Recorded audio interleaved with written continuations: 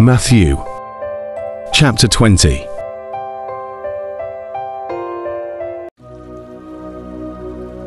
For the kingdom of heaven is like a landowner who went out early in the morning to hire workers for his vineyard. He agreed to pay them a denarius for the day and sent them into his vineyard. About nine in the morning, he went out and saw others standing in the marketplace doing nothing. He told them, You also go and work in my vineyard, and I will pay you whatever is right. So they went. He went out again about noon and about three in the afternoon and did the same thing. About five in the afternoon, he went out and found still others standing around. He asked them, Why have you been standing here all day long doing nothing? Because no one has hired us, they answered. He said to them, You also go and work in my vineyard. When evening came, the owner of the vineyard said to his foreman, Call the workers and pay them their wages, beginning with the last ones hired and going on to the first. The workers who were hired about five in the afternoon came and each received a denarius. So, when those came who were hired first, they expected to receive more. But each one of them also received a denarius. When they received it, they began to grumble against the landowner. These who were hired last worked only one hour. They said, and you have made them equal to us who have borne the burden of the work and the heat of the day. But he answered one of them, I am not being unfair to you. Friend, didn't you agree to work for a denarius? Take your pay and go. I want to give the one who was hired last the same as I gave you. Don't I have the right to do what I want with my own money? Or are you envious because I am generous?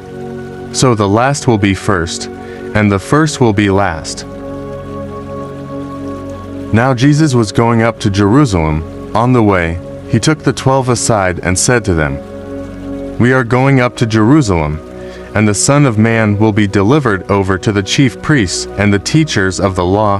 They will condemn him to death, and will hand him over to the Gentiles to be mocked and flogged and crucified.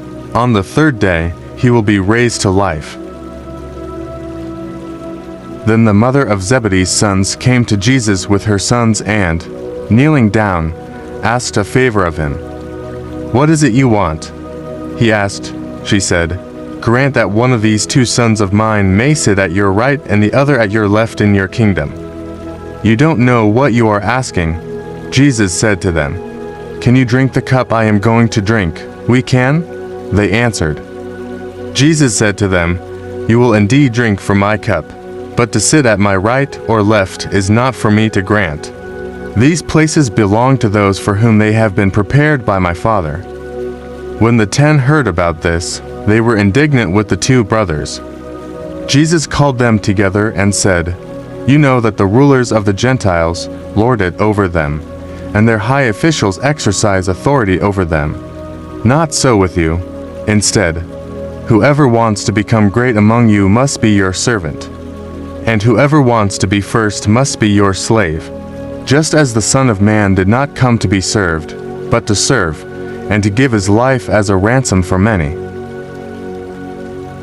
As Jesus and his disciples were leaving Jericho, a large crowd followed him. Two blind men were sitting by the roadside, and when they heard that Jesus was going by, they shouted, Lord, Son of David, have mercy on us.